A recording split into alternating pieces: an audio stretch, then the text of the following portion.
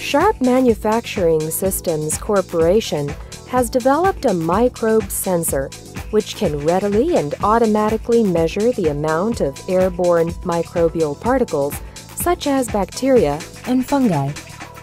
This microbe sensor can measure such kinds of airborne microbial particles in as fast as 10 minutes and was launched in October 2013.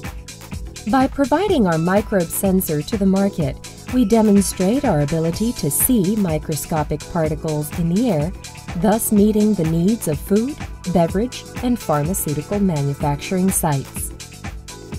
Our microbe sensor has been developed to monitor microbial biomass from 1,000 parts per cubic meter to 100,000 part per cubic meter. Environments falling into this range would include general hospital wards and food processing facilities.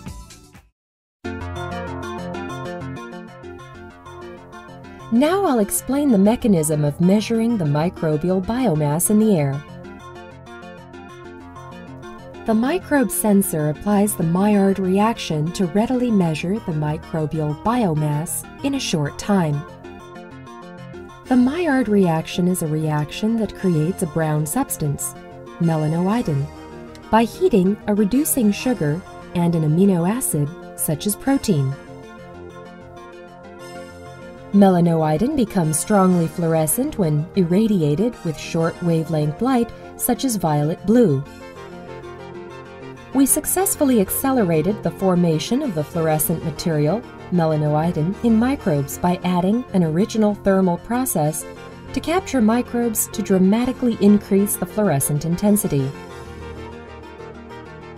This technology, the heating fluorescence increase method, is already patented.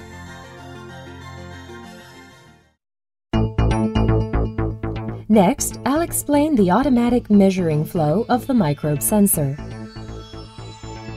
First, circumambient air is drawn from the inlet port on the side of the body, and particles less than 10 microns, including microbes, are separated by cyclone technology.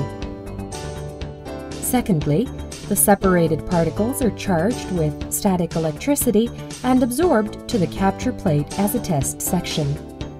After they're captured, they are irradiated with a blue laser, and the amount of fluorescence is measured before the Maillard reaction.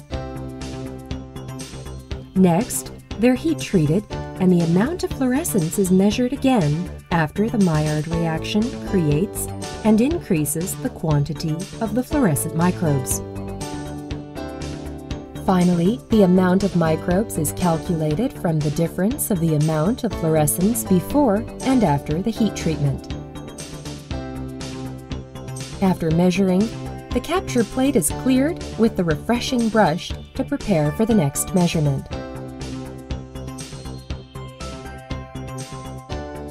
Please make Sharp's microbe sensor a useful addition to your environmental control system.